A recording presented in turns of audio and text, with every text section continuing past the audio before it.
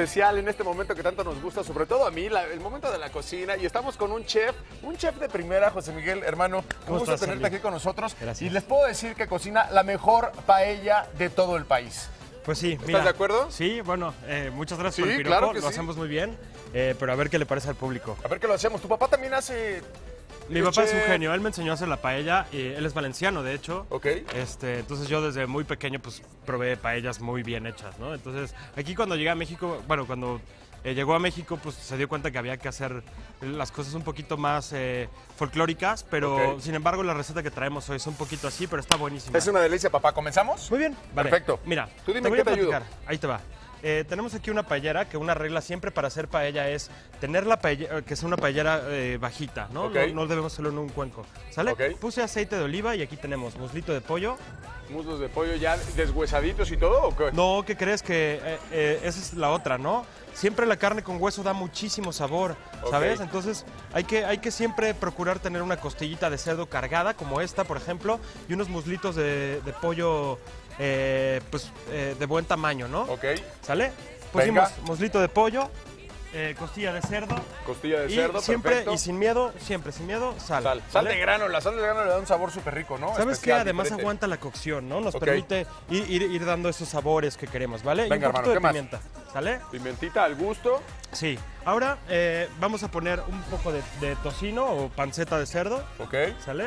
Ya en cuadritos. Ya en cuadritos, aquí ya lo tenemos todo. Mira, siempre que, que hagan, hagan paella, procuren siempre ya tener todos sus ingredientes listos porque el arroz es celoso, es, es como la novia, que necesita atención. Y es la parte importante de la paella, ¿no? Sí, Como sea, todos estos ingredientes se van a, a- a cocer, van a agarrar cuerpo, pero la paella sí es especial. O sea, el, el- el- el arroz. El arroz, ahí, ahí está. o cocción. sea, el, cono- el gran conocimiento que puedas llegar a tener es en, en el punto del arroz, en la cocción del arroz. ¿va? Perfecto. Bueno, pues entonces vamos friendo esto Ok. y, y ponemos también chistorra, ¿no? Chistorrita, qué rico. Hay gente que pone salchicha, la verdad a mí me gusta más el sabor de la chistorra en la paella. ¿Se le puede poner chorizo, el chorizo normal? Sí, mira, a partir de aquí tú puedes hacer lo que quieras, lo puedes tropicalizar tanto como quieras, nada más ten, ten siempre en cuenta que la paella tradicional valenciana solo lleva cinco ingredientes.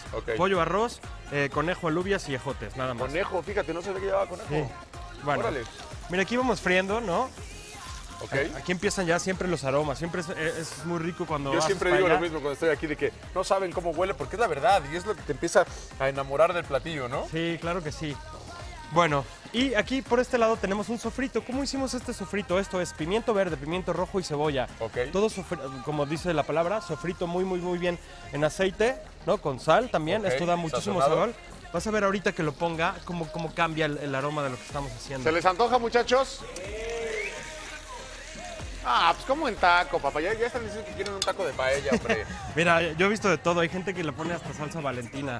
Eh, al final... sí ya va al gusto, Sí, ¿no? exactamente. Eh, pero sí, esto te lo puedes acompañar con un, con un buen trozo de pan, ¿no? Sí, un baguette, pero ¿sabes? Así como es de, familia, no cortadito, no, el baguette se pasa de mano en mano y pff, se Bien, rompe. sí, claro. Bueno, Mira, ya ves, yo creo que este, el chupón es español porque está diciendo, ya ves como yo, así se comen las tortas. muy bien, mira, y una vez tenemos esto ya friendo así, agregamos puré de tomate, Venga. Ahí están saliendo los ingredientes, ¿eh? No hay pretexto para no hacerla, señora. De verdad, este fin de semana, háganla para la familia, para los niños, porque aparte esto les gusta a todos, ¿no? eso les gusta a un todo el plato mundo. súper Sí, completo. no, es una comida completa, Qué rico. ¿Va?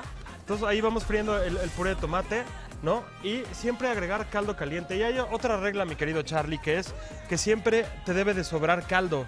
¿Por qué? Porque si, si al arroz le falta, le falta caldo, no puedes mojar con agua. Ok, ¿no? Tienes que tener algo ya, ya con sabor. Pero ¿te parece Oye, si este caldito, perdón que te interrumpa, ¿de qué es? este es un caldo de pollo Caldo y, de y de pollo. verduras? Sí. Ok, perfecto. Mira. Bueno, pues por este lado tengo una ya bastante adelantada, Charlie, para, para que la gente pueda ver, ¿no? Ah, Y esta, pues ya, ya, ya casi está el arroz, le faltan unos dos o tres minutos. Y, y te voy a invitar a que me ayudes, pásame por favor todas las cositas del mar te paso que, que aquí tenemos que es mejillón, almeja y camarón, y camarón. ¿vale? Oye, pero el chiste de la paella es la consistencia del arroz, ¿no? La consistencia no del arroz, arro- no, arroz. no es cualquier arroz. Mira, nosotros aquí usamos arroz precocido, Ok. que es el que más aguanta la cocción y, y además también estamos acostumbrados a que es un servicio largo, etcétera. Entonces, el- este arroz aguanta mucho tiempo. Ok. ¿Va? Este, no olvidemos echar nuestros garbancitos, Sí, no. ¿no? los ejotitos que tenemos por ahí, Los Charlie. ejotes, ¿Estos los avientas así o, o Eh, partidos? Vamos a ponerlos así grandes. Si quieres, o co- dales un cortón. Eso, Ahí está. Muy bien. Va que va. Sale. Y nuestro azafrán que está por allí. A ver, te voy pasando. ¿Sale? Oye, también tenemos calamar aquí. Sí. Sí, tenemos calamar. ¿Se lo vas a poner? Se lo vamos a poner. Va. ¿no? Y lo que sigue de esto es el arroz, mi Charlie. La parte importante. Sí. Qué delicia. A mí me encanta la paella, pero te voy a, te voy a confesar una cosa. Sí. Recalentada. Ok. A mí después de un tiempo como que ya agarra el sabor. Sí. Me gusta mucho más y a veces me la como hasta fría, ¿eh? Claro. Oye, mi Charlie, aquí, aquí hay una cosa bien importante que debemos hacer, que es que me pruebes el caldo, porque Así de, de acá o acá. con la cuchara Sí, no la voy a volver a usar.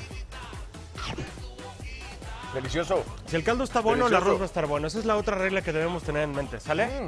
Bueno, y esta, y esta que ya está a punto de estar, Charlie, aquí sí ya viene la, la labor de acomodar nuestros, nuestros mejillones y... Qué rico, papá. Qué delicia. No saben de verdad ahí en casa cómo huele este plato, ¿eh? Aquí ya todos están así de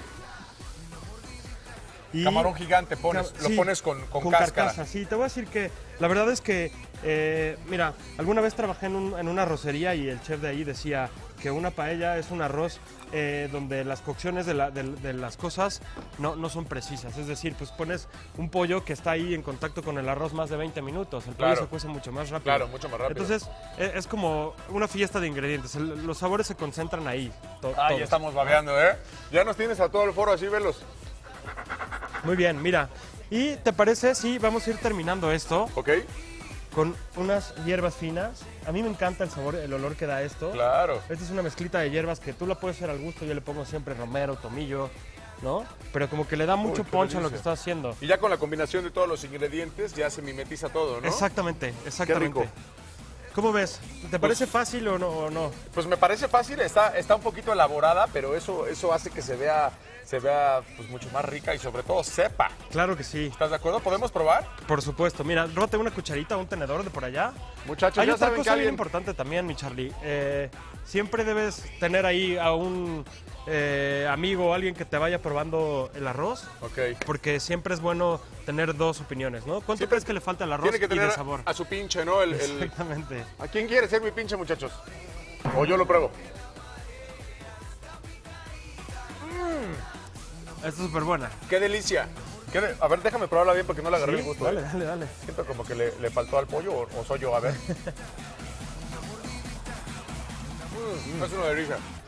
Es una delicia. A esto no le falta nada. Charlie, Qué ya viste qué fácil es, ¿no? Mm. El tema es que tengan buen ingrediente, eh, buen ingrediente y que tengan buen calor, ¿no? Y una paellerita, como te digo, chaparri- Hermano, chaparrita. te quedó delicioso. ¿Tienes redes sociales o algo para que te siga Sí, la gente? arroba J. Miguel García y la barraca MX es el de mi negocio. Ahí por Coyoacán. Por Coyoacán. Eh, lo conozco, papá. Invitadísimos. Muchísimas ¿Eh? gracias y bueno, yo me voy a quedar a probar, muchachos. ¿Quieren?